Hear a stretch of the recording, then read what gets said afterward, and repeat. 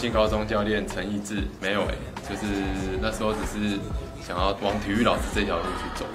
对，只是到学校来的时候发现哎，学生他们其实还蛮热爱出去比赛。那时候学生出去比赛的时候，就是比赛前，比赛前临可能临时练了几次，然后就会去打联赛，然后每次都是被惨电个三四十分，对，然后后来是遇到有一批。还不错的学生，他们很有心想练，对，很有心，啊，就很热心，就从那个时候开始就哎跳下去，对，想说既然学生想练了，那我们就不如就一起努力看看，对，就一直到现在，但其实蛮多的，因为我们学校是升学学校，对吧？然后常会遇到最常遇到问题就是家长的问题，对，家长，然后家长可能觉得哎他来参加球队，然后成绩退步，但是我是觉得。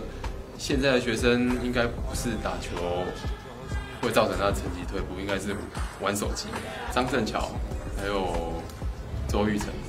嗯，跟曾子伦，哎，曾子伦他是运球很好，啊，外线很准，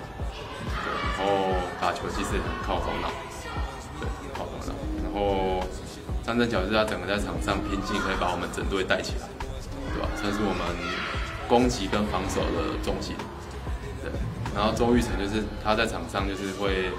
会让人家有安定感吧，对，他就比较稳定，不会做一些发生一些比较低级的失误，对，他把自己分内的事都做好。觉得是学生吧，对吧？是学生，他们如果想要练的话，我们才坚持得下去。其实乙组教练都还蛮都蛮辛苦，对吧？因为他可能没有，我觉得乙组教练都是靠热血来。来坚持下去，大概占了八九成，对吧？啊，但是我觉得这个对这个主要的动力来源是学生。如果学生他们想要练的话，教练才会愿意付出这些时间。对，他哪一天如果哎来了这批学生，每个都很被动，只想要打球的话，那我是觉得那干脆大家不要就不要浪费这个时间，对，我们就去把哎学生的本分做。我们打全国赛的时候，刚好是我生日吧，对啊，其实那时候也都忘记，明明就是去比赛，对，然后但是他们那那几个就是哎，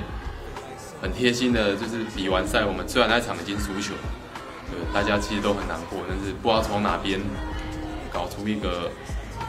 蛋糕，对，然后就是在那边，对吧，在在球场外面就，对，其实觉得那时候还蛮温馨的，还蛮难忘的啦，就是明明我们大家是去打全国赛，但是他们可以记得这些。我觉得这联盟很好，就是因为我们运动代表队出去比赛都是在别人的场地，对，我们很少有，比如说一一项比赛办在自己的学校没有。然后我们练球练那么久，然后公假请那么多出去比赛，但是学校的老师跟同学不知道他在干嘛。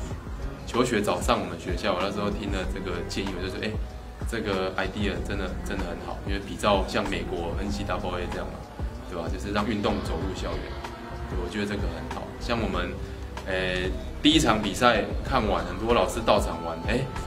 他回去他就会跟我说，哎，原来原来我们篮球队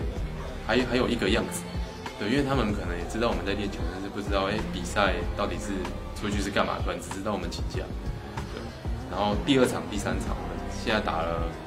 打了主场已经都打完了，对。然后哎，有一些老师他们每场都到，对。然后也是给跟我说，哎，要好好鼓励这些小孩子，对吧？因为毕竟练球跟练球跟念书两件事加起来是蛮辛苦的，但是有些小孩子可能在班上表现很好，他，在球场上也表现很好，所以会让这些老师更支持我们，能够。能能够继续发展下去。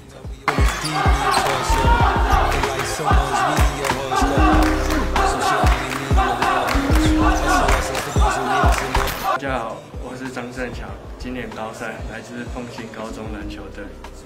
呃，因为那时候奉新第一年有那个体制生的升学管道，然后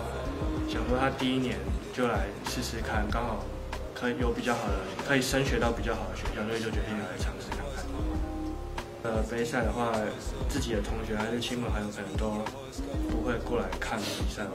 就刚好借有这个机会，自己学校同学可以来为我们学校的球队加油。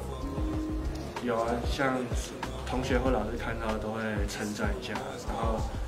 主任也几乎每一场客客场还是不管是不是球球比赛，都陆续有到场帮我们做加油。啊，我叫周玉成，然后今年高三，来自凤新高中，我担任小前锋。我觉得我会帮忙处理蛮多细节，还有生活上的部分，叮咛大家一些很多事情吧。就是第一场主场面对冈山高中，然后那一场就是整场拉锯平手，然后焦灼到最后一集，然后我们执行。然后有，就是队我队友出手不进，然后我抓到进攻篮板，然后补进，然后剩一点多秒这样，然后就是全场气氛都很很嗨，让自己也很开心。整个网络上都是那一部影片啊，就突然一一个晚上爆红这样子，对，记得很清楚。